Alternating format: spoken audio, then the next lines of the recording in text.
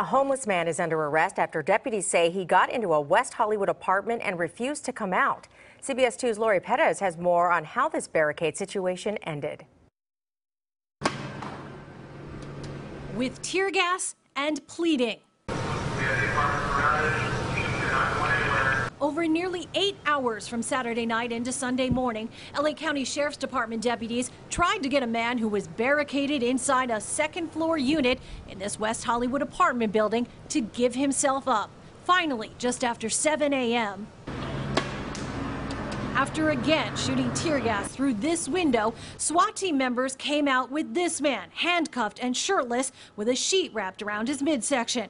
They've identified him as 36 year old Benjamin Owen Hales. I think it's just very traumatic for the whole neighborhood. A neighbor who did not want to be identified watched the standoff unfold from across the street.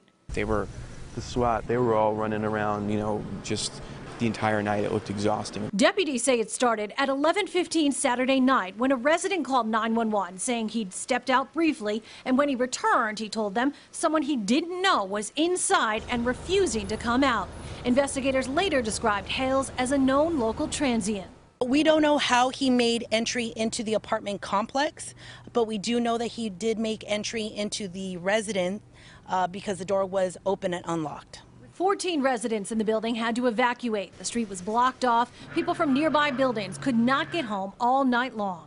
I thought this was actually a movie set, so I was kind of shocked when I went up to the police officer and I was like, Can I go home? And he was like, No, you can't. Deputies say Hales is charged with burglary and vandalism. In West Hollywood, Lori Perez, CBS 2 News.